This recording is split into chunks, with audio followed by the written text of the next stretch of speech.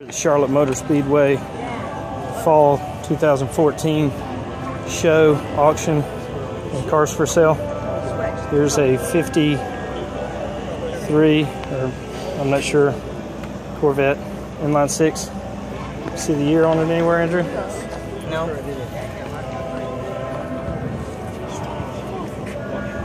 Look at the, it's one of seven and one of, 1955. See that?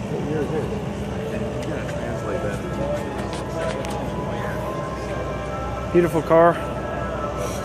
And we also have a 1962 Resto Mod. It's got custom wheels, paint. Interior looks pretty factory other than the steering column. And got probably definitely not a factory motor in there.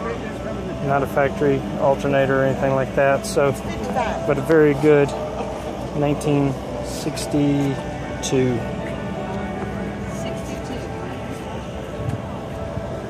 Beautiful car.